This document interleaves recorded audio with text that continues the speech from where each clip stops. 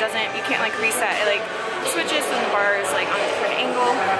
And I'm just like annoyed all over. I'm like dizzy every time I'm deadlifting. So I was ready to give up, but I've already done four sets, so I'm just gonna do one more set.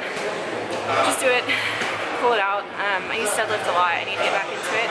So I'm to try to do that. It's, I'm just like frustrated beyond measure right now. So I'm just to push through last set and then uh, see how it goes. See how much I got. I got 80, 185 for 8 straight reps. I tried doing it without the wrist straps. My Legion of Boom wrist straps. I tried to do it without them the first time and I was like, I'll put that clip in there. I was like so pissed because I couldn't hold on to it. It wasn't heavy, I just couldn't hold on to it. So it's just one of those days where I'm like agitated, I guess. But hopefully after this, the rest of the workout goes well.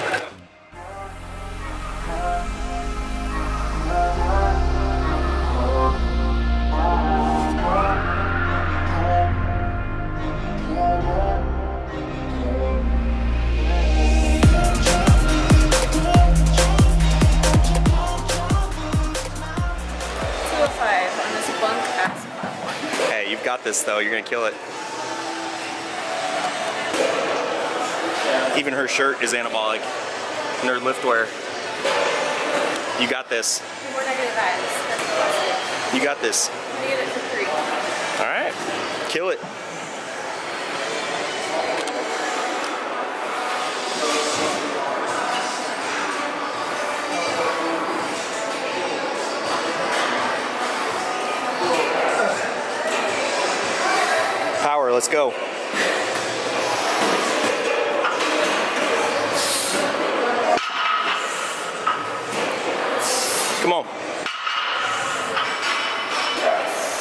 One, let's go.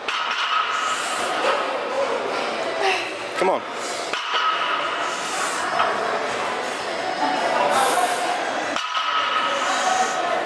She's feeling good now. Let's go.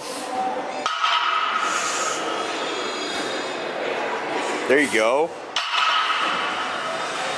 Ah, that was seven. I should have been eight.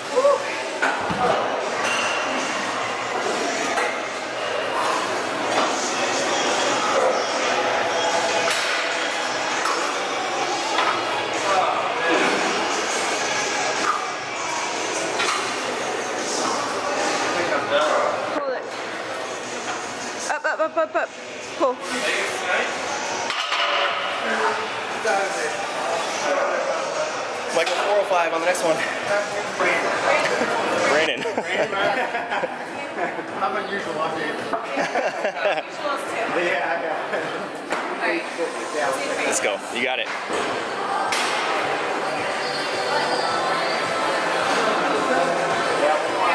Oh yeah.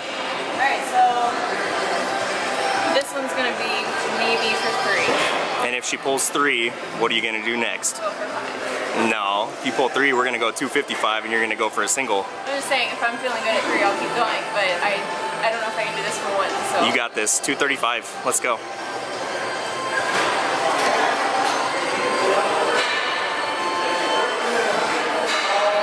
Get mad. Let's go.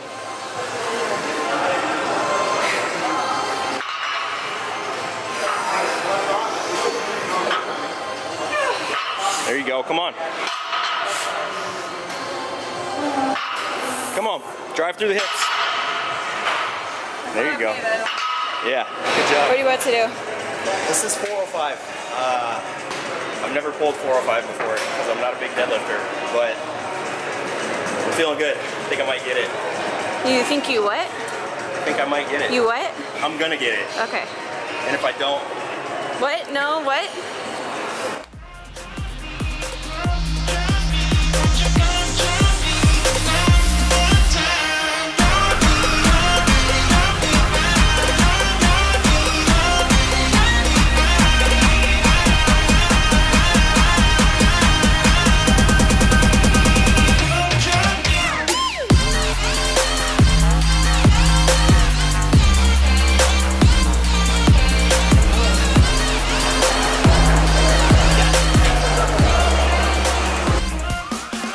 Guys, this is what the aftermath of a successful deadlift day looks like.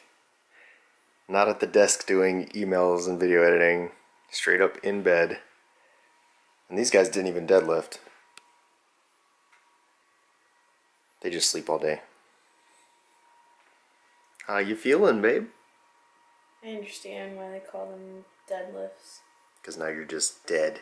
I want to die. And I'm about to lay right over there and finish writing some programs.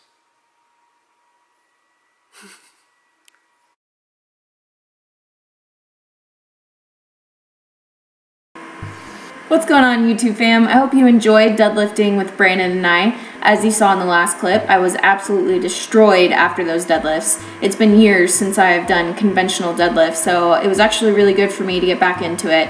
And as you saw on my last uh, set where I did 235 times 2, I actually did have the strength to do more, but I did notice that my form wasn't perfect.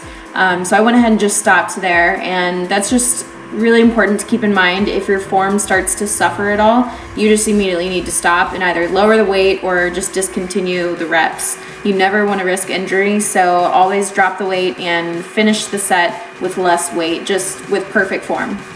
Now, um, I do want to talk a little bit about my off season and everything I've been doing.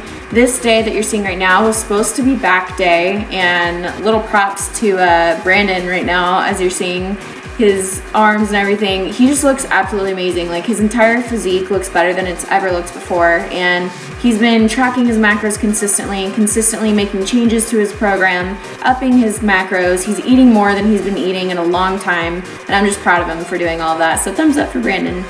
Um, so like I said, this was gonna be our back day, but because we were both absolutely destroyed from deadlifts, it ended up being biceps, calves, and abs. Now, we recorded most of our biceps and our abs. We didn't get our calves, nothing too exciting there, just some seated calf press and some standing calf raises. Um, it's funny because I tend to neglect my biceps, calves, and abs, so it's funny that those were the only things that I had left to train on this day. And that's kind of my tip for you guys. If you have something that you know you neglect, it might be time for you to dedicate a day strictly to that muscle or those muscle groups. I noticed that my biceps, calves, and abs were all three so sore after this day, and it's because I had an entire day just to focus on those. So if you're trying to bring up those weak points, um, make sure that you just really dedicate the time you need to them and be honest with yourself if you're not giving them the attention they deserve on the other days. So I've been tracking in my little pink notebook that you guys saw in my last video, and it's awesome because now I have like three full pages written of all my workouts, my cardio, my macros, just everything. So now I can look back and today that I'm recording um, this footage, or, er, sorry, this voiceover is Monday, January 4th. And so I did isolated glutes and I went back and did the same workout that I did last week. And it's important to do the same workout again and not always change it because that's how you track progress. So I can say, okay, I'm doing glute cable kickback. What weight did I start with last time? And I look back and I'm able to, you know, see that I started with X amount of weight. So I'll either start with that weight or I'll bump it up a little bit more and try and challenge myself and lift a little bit heavier this time. And I noticed um, I underestimate myself a lot. So I would write down the exercise and say, okay, I think I started with, you know, say 60 pounds. And then I would look back and I actually started with 70 or 80 pounds. So if I didn't have this to look back on, then I wouldn't know to push myself even further. So it's been really eye-opening for me, I think. Um, I think I underestimate myself a lot, actually. it's been eye-opening for me just to be able to push myself in that manner. Um, and then also with my cardio, I you guys saw my active rest day at Runyon Canyon. And then uh, Sunday, January 3rd was my other active rest day and I woke up and did uh, 30 minutes of fasted cardio in my garage. We have a treadmill, so I just did some incline walking, nothing too intense. And I have no plan to like continue doing fasted cardio. I just woke up and wanted to get it out of the way before we went to church. So um, it was really nice. I got up, got a good sweat in, got to shower, go to church, and we actually got to see Star Wars. Any of you like Star Wars? Comment down below, let me know. Um, it was actually really good, but I won't spoil it for you. So um, we're ending this video with some abs. You're seeing I'm doing stability ball sit-ups. I did check my abs after this and they still were not shredded. I don't know why. I did a whole set, like 25 reps, guys. um, after this one, I did a ab circuit. Let's see. I wrote it down. I have leg lifts, reverse ab crunches, and heels to heaven. And I only did three sets, and I'm telling you guys, I was so freaking sore from these. Um, and on the heels to heaven, the third exercise that you'll see here, you don't want to swing as much as I did, but I didn't record until the last set and I was already like gassed out. So no excuses for bad form, I guess, but it still worked. I, I got the job done. So that's going to be it for this video though. Um, let me know if you guys are enjoying these improvement season videos and what else you want to see from my improvement season. I really love sharing it with all of you and it's been awesome recording all of it. So let me know if you want to see more workout footage or more about my diet or just whatever you want to see. Thank you guys for joining me for another great video and I will see you guys in the next episode of my improvement season. Hope you all have a fabulous day and I will see you soon.